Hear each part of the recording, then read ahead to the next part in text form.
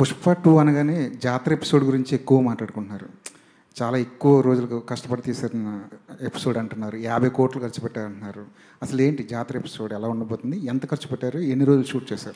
Sir ఓ- దయచేసి ఒకటి sir మనం ఇప్పుడు మాట్లాడుకునే దాంట్లో ఇంకో సినిమా రికార్డులు అది అడగొద్దు సార్. అలాగే మా సినిమా గురించి చెప్తాం. అలాగే జాతర ఎపిసోడ్ మీరు అన్నారు ఎంత ఖర్చు పెట్టాం? డెఫినెట్గా చాలా హెవీగా ఖర్చు పెట్టాం అది మీకు కనపడద్ది. సరే కమింగ్ టు మీరు అడిగిన క్వశ్చన్ సార్ జాతర ఎపిసోడ్ అది almost like thirty five days ఏమో షూట్ చేసాం సార్ ఒక ఫిఫ్టీన్ ట్వంటీ డేస్ రిహార్సల్ కూడా చేసి అది ఒక మాస్టర్ పీస్ ఎపిసోడ్ అది. హీరో గారు the the hard work he has done for each and every episode and. Not only జాతర ఎపిసోడ్ అసలు పెయింట్ వేసుకుని బాడీ పెయింట్ వేసుకుని ఇది కట్టుకుని రోజంతా అలా కూర్చుని మళ్ళీ ఎక్కడ స్వెట్ గిట్టి రాకూడదు కాబట్టి ఆ చిన్న ఫ్యాన్ ఖాళీగా ఉన్న ఫ్యాన్ పెట్టుకుని అలాగే కూర్చుని అసలు ఆయన పడిన కష్టం be can't measure with any other this thing అండి.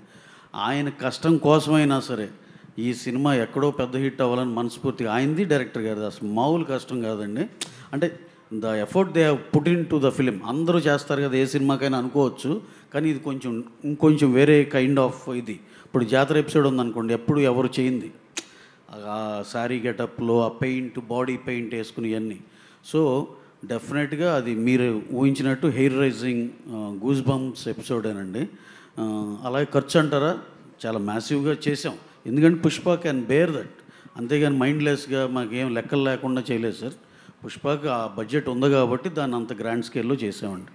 ఐటమ్ పాటలో ఎవరు యాక్ట్ చేస్తారన్నది నేషనల్ వైడ్గా హాట్ టాపిక్ అయింది ఇప్పటికైనా ఎవరు అన్న క్వశ్చన్ మార్క్ ఆన్సర్ ఏమైనా దొరికిందా?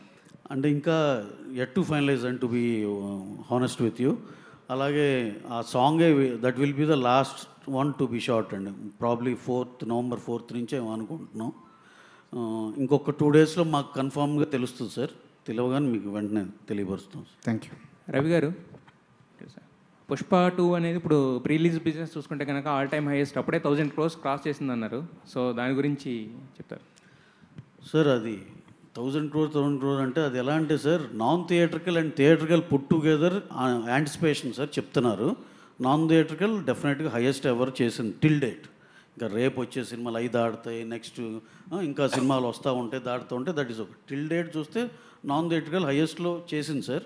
అలాగే థియేట్రికల్ ఏంటంటే అదొక యాంటిసిపేషన్ ఇప్పుడు ఇక్కడ ఇంత చేయొచ్చు ప్రీ రిలీజ్ బిజినెస్ ఇంత అయింది కాబట్టి ఇంత చేయొచ్చు అనే దాంట్లో thousand crore is pretty much achievable లాగా అనిపిస్తుంది సార్. అయితే యాక్చువల్గా గేమ్ చేంజర్ అనేది మొన్నదాకా ఉంది. ఒక టూ వీక్స్ గ్యాప్లో వచ్చింది. ఇప్పుడు అది నెక్స్ట్ ఇయర్కి వెళ్ళింది కదా. సో మరి రిలీజ్ ప్లాన్స్ ఏమన్నా అంటే పెద్దగా చేయడం కానీ అంటే రిలీజ్ ప్లాన్స్ ఏమన్నా మారుతున్నాయి దానివల్ల లేదు సార్. అంటే డెఫినెట్గా two weeks run maximum eighty five to ninety percent ప్రతి సినిమా రికవర్ చేస్తుంది sir. You take Animal any big film sir. Triple R KGF two వీక్స్లో ninety ninety percent చేసేస్తున్నాయి సార్. ఇంకా రన్ ఉంటే ఏంటంటే ఇంకా ఫైవ్ టెన్ పర్సెంట్ అడిషనల్గా advantage ఉంటుంది sir. మనం అప్పుడు గేమ్ చేంజర్ ఉన్నప్పుడు కూడా టూ వీక్స్ రన్ ఉంది దట్ ఈస్ ఇనఫ్లే అనుకున్నాం మేము. ఇంకేమున్నప్పుడు అవన్నీ మూవ్ అయినాయి అనుకోండి సార్ ఆ లిటిల్ బిట్ ఆఫ్ అడ్వాంటేజ్ దొరుకుతుంది. రవి గారు. అయితే యాక్చువల్గా ఫస్ట్ సినిమా అంటే ఫస్ట్ పార్ట్ షూట్ చేసినప్పుడే చాలా వరకు షూట్ చేశారన్నారు. బట్ ఇది అంటే వరల్డ్ మార్కెట్ అంటే ఫస్ట్ అంటే ఓన్లీ రీజనల్ అనుకుని చేశారు కదా సార్. హిందీలో మీరు ఊహించిన దానికన్నా ఎక్కువ వచ్చింది. ఇప్పుడు వరల్డ్ మార్కెట్లో కూడా పుష్ప అనే దానికి ఒక బ్రాండ్ వచ్చింది కదా. సో సెకండ్ పార్ట్ చేస్తున్నప్పుడు ఆ స్కేల్ పెంచారని చెప్పి ఇలాంటి రీషూట్స్ చేశారని చెప్పి ఒక టాక్ వచ్చింది. దాని గురించి మీ క్లారిటీ సార్ స్కేల్ అంటే ఎపిసోడ్స్ ఎపిసోడ్లు గ్రాండ్గా హ్యూజ్గా ఉంటాయండి. దట్ డజన్ మీన్ దట్ ఏదో పెద్ద పెద్ద ఒక పాతికి కార్లు బ్లాస్ట్ చేసి అలా కాదు. ఇది పుష్ప అంటే attitude and dialogue based film. ఏదైనా సరే ఆ బేసిక్ రూల్కి అయితే స్టిక్ అయి ఉన్నాం సార్. అర్థం లేదండి. దాంట్లో వచ్చే ఎపిసోడ్స్ హై హైగా ఉంటుంది. అది గ్రాండియర్ అవనండి లేకపోతే విత్ ఇన్ ద ఎపిసోడ్ వచ్చే హై అవనండి.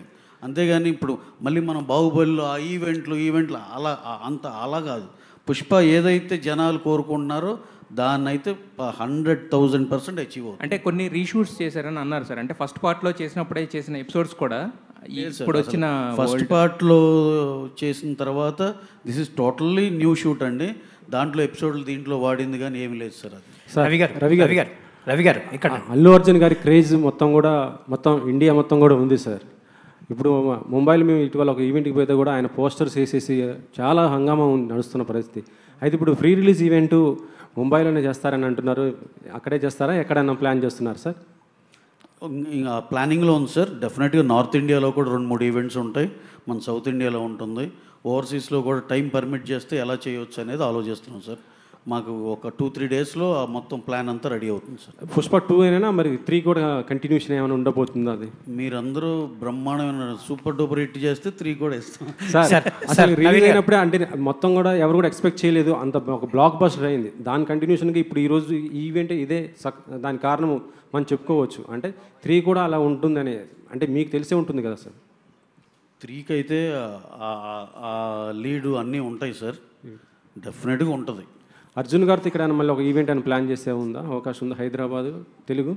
ఇంకా ప్లానింగ్లో ఉంది సార్. మన హైదరాబాద్లో చేయకుండా ఎలా ఉంటాం సార్? సార్ రవి గారు బేసిక్గా పెద్ద సినిమాలు అంటే